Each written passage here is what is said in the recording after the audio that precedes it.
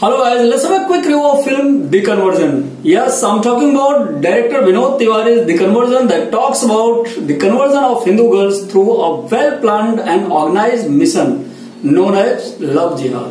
This is one of the eye-opening movie of the year. Let's talk about the storyline. Story revolves around a Bablu Sheikh, which is played by Pratik Shukla, who is popularly known as called as a Bablu only. He never reveals his surname, Ajay Sheikh. He follows a Hindu Brahmin girl named Sakshi Mishra, which is played by Vindhya Tiwary, and he impresses her with his knowledge of Bhagavad Gita and the ideology of Swami Vivekananda.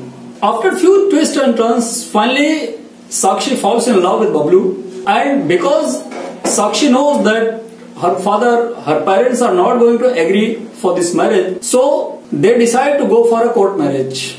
For the first time in the court, during their marriage, Sakshi come to know about Bablu's surname. So she denies for a marriage and she feels cheated. Bablu still pursue her and tries his level best to marry her. Finally, after a few twists and turns, Sakshi again agrees for a marriage and Bablu promises her not to follow the Islamic rules or traditions and uh, he allowed her to continue his traditions and cultures and beliefs even after marriage. But the actual turns and twists actually comes after marriage when she goes at Bablu's place, Bablu's home and she starts facing challenges. She comes to know that something is wrong there and nothing is happening as it was told or it was promised by Bablu.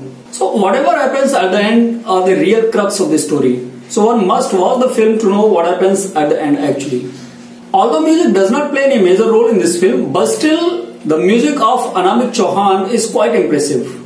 The writers Vandana Tiwari and Rakesh Tripathi have tried their level best to balance the story actually.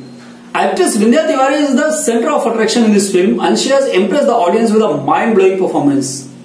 Her acting brilliance can be easily seen post-intermission.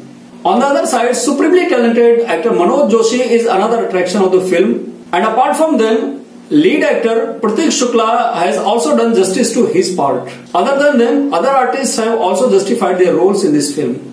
Overall, this is one of the brilliant piece of research work honestly served to the audience by director Vinod Tiwari in a well balancing manner actually. This film is not against any caste or religion. It just exposes certain set of people who are running such kind of agenda to exploit the harmony of India. So why wait? Go and watch it in your nearest cinema hall. I would like to give 3.5 star out of 5.